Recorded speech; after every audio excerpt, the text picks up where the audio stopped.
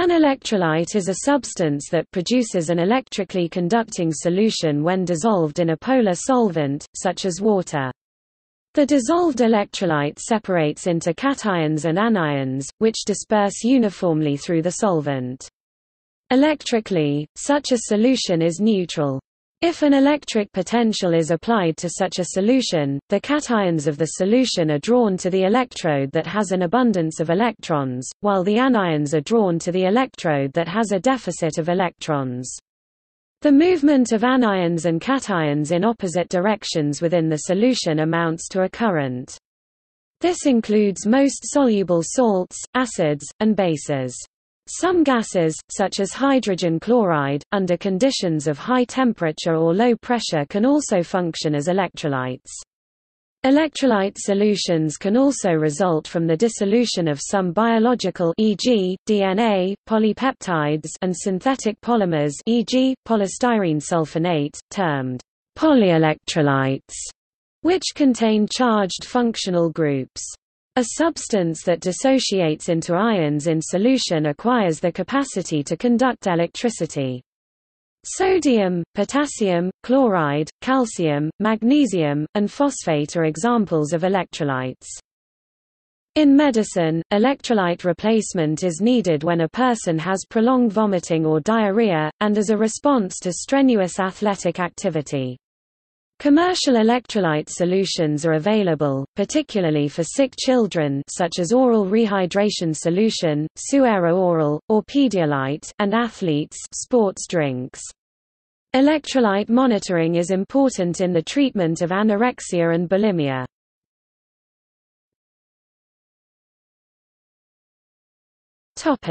Etymology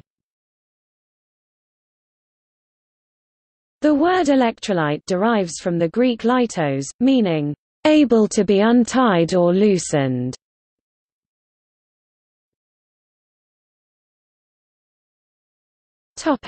History Svante Arrhenius put forth, in his 1884 dissertation, his explanation of the fact that solid crystalline salts dissociate into paired charged particles when dissolved, for which he won the 1903 Nobel Prize in Chemistry. Arrhenius's explanation was that in forming a solution, the salt dissociates into charged particles, to which Michael Faraday had given the name ions many years earlier. Faraday's belief had been that ions were produced in the process of electrolysis. Arrhenius proposed that, even in the absence of an electric current, solutions of salts contained ions. He thus proposed that chemical reactions in solution were reactions between ions.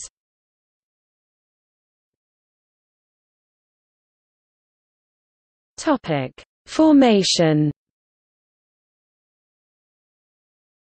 Electrolyte solutions are normally formed when a salt is placed into a solvent such as water and the individual components dissociate due to the thermodynamic interactions between solvent and solute molecules, in a process called solvation.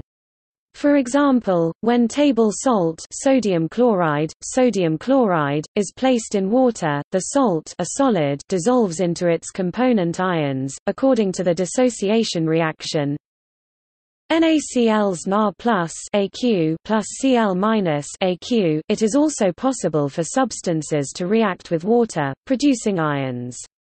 For example, carbon dioxide gas dissolves in water to produce a solution that contains hydronium, carbonate, and hydrogen carbonate ions.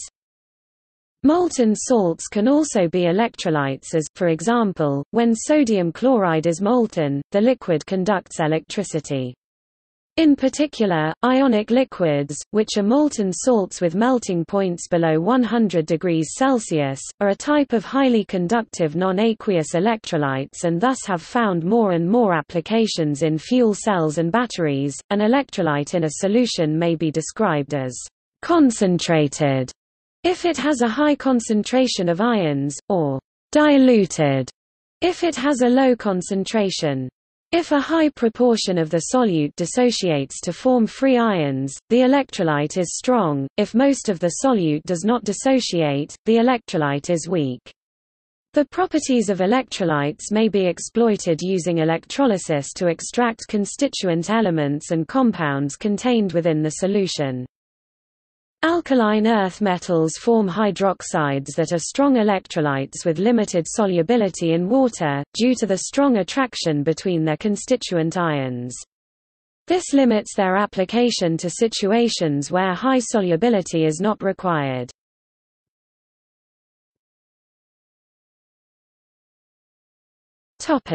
Physiological importance.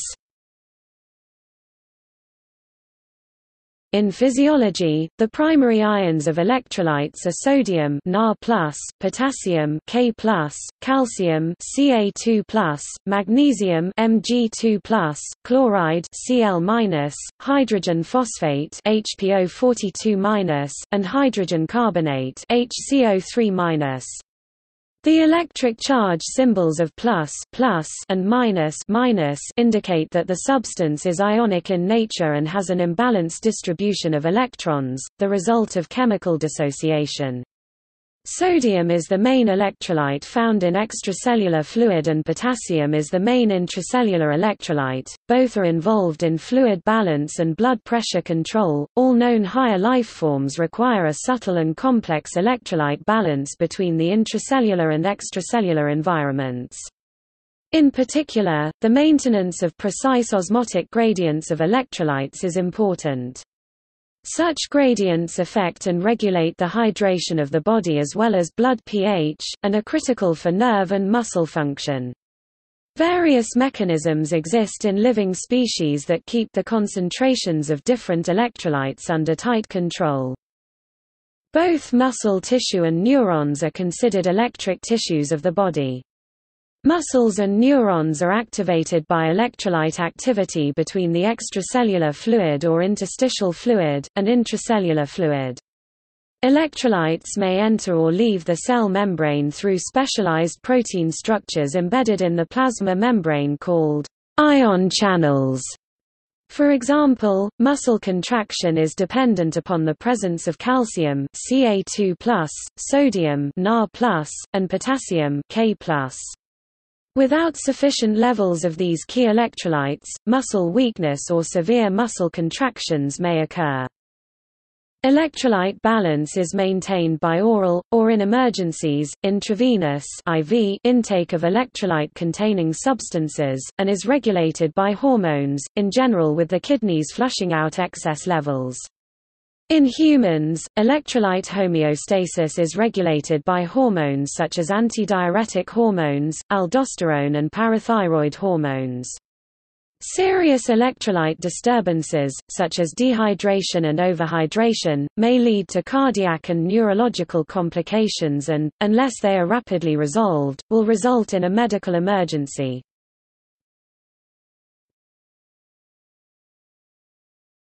Topic: Measurement Measurement of electrolytes is a commonly performed diagnostic procedure, performed via blood testing with ion-selective electrodes or urinalysis by medical technologists. The interpretation of these values is somewhat meaningless without analysis of the clinical history and is often impossible without parallel measurements of renal function. The electrolytes measured most often are sodium and potassium. Chloride levels are rarely measured except for arterial blood gas interpretations, since they are inherently linked to sodium levels. One important test conducted on urine is the specific gravity test to determine the occurrence of an electrolyte imbalance.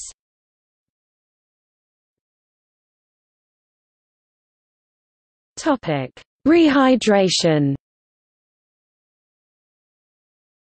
In oral rehydration therapy, electrolyte drinks containing sodium and potassium salts replenish the body's water and electrolyte concentrations after dehydration caused by exercise, excessive alcohol consumption, diaphoresis, heavy sweating, diarrhea, vomiting, intoxication or starvation. Athletes exercising in extreme conditions for three or more hours continuously, e.g. a marathon or triathlon who do not consume electrolytes risk dehydration or hyponatremia. A homemade electrolyte drink can be made by using water, sugar and salt in precise proportions. Commercial preparations are also available for both human and veterinary use. Electrolytes are commonly found in fruit juices, sports drinks, milk, nuts, and many fruits and vegetables whole or in juice form e.g., potatoes, avocados.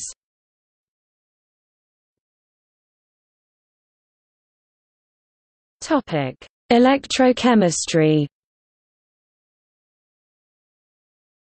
When electrodes are placed in an electrolyte and a voltage is applied, the electrolyte will conduct electricity. Lone electrons normally cannot pass through the electrolyte, instead, a chemical reaction occurs at the cathode, providing electrons to the electrolyte. Another reaction occurs at the anode, consuming electrons from the electrolyte. As a result, a negative charge cloud develops in the electrolyte around the cathode, and a positive charge develops around the anode. The ions in the electrolyte neutralize these charges, enabling the electrons to keep flowing and the reactions to continue. For example, in a solution of ordinary table salt sodium chloride, sodium chloride in water, the cathode reaction will be 2H2O plus 2E minus 2OH minus plus H2 and hydrogen gas will bubble up. The anode reaction is 2 sodium chloride 2 Na plus plus Cl2 plus 2E minus and chlorine gas will be liberated. The positively charged sodium ions Na will react toward the cathode, neutralizing the negative charge of O there, and the negatively charged hydroxide ions O will react toward the anode, neutralizing the positive charge of Na there. Without the ions from the electrolyte, the charges around the electrode would slow down continued electron flow. Diffusion of H and O through water to the other electrode takes longer than movement of the much more prevalent salt ions. Electrolytes dissociate in water because water molecules are dipoles and the dipoles orient in an energetically favorable manner to solvate the ions. In other systems, the electrode reactions can involve the metals of the electrodes as well as the ions of the electrolyte. Electrolytic conductors are used in electronic devices where the chemical reaction at a metal-electrolyte interface yields useful effects. In batteries, two materials with different electron affinities are used as electrodes. Electrons flow from one electrode to the other outside of the battery, while inside the battery the circuit is closed by the electrolyte's ions. Here, the electrode reactions convert chemical energy to electrical energy. In some fuel cells, a solid electrolyte or proton conductor connects the plates electrically while keeping the hydrogen and oxygen fuel gases separated. In electroplating tanks, the electrolyte simultaneously deposits metal onto the object to be plated, and electrically connects that object in the circuit. In operation hours gauges, two thin columns of mercury are separated by a small electrolyte-filled gap, and, as charge is passed through the device, the metal dissolves on one side and plates out on the other, causing the visible gap to slowly move along. In electrolytic capacitors the chemical effect is used to produce an extremely thin dielectric or insulating coating, while the electrolyte layer behaves as one capacitor plate. In some hygrometers the humidity of air is sensed by measuring the conductivity of a nearly dry electrolyte. Hot, softened glass is an electrolytic conductor, and some glass manufacturers keep the glass molten by passing a large current through it.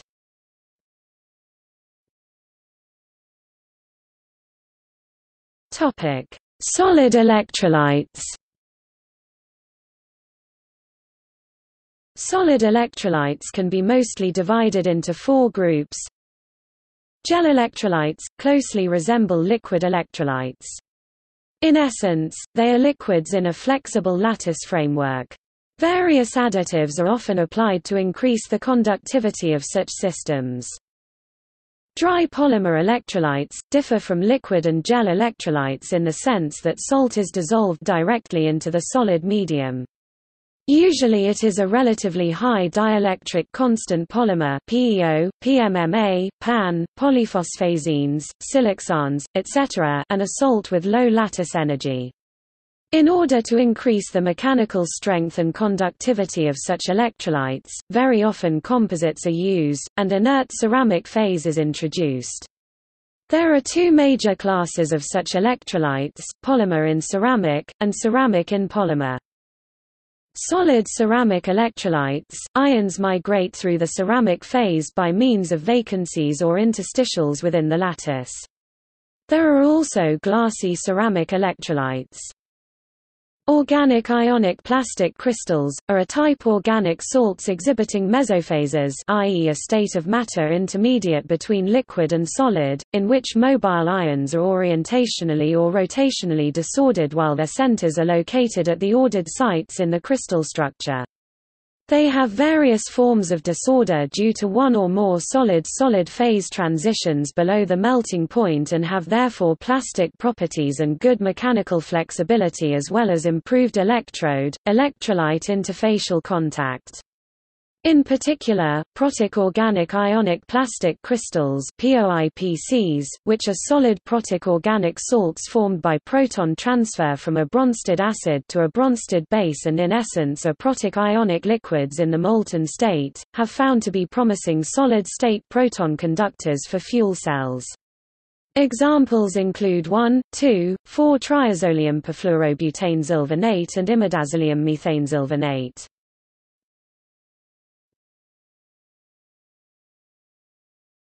Topic. See also Strong electrolyte ITIES interface between two immiscible electrolyte solutions Ion transport number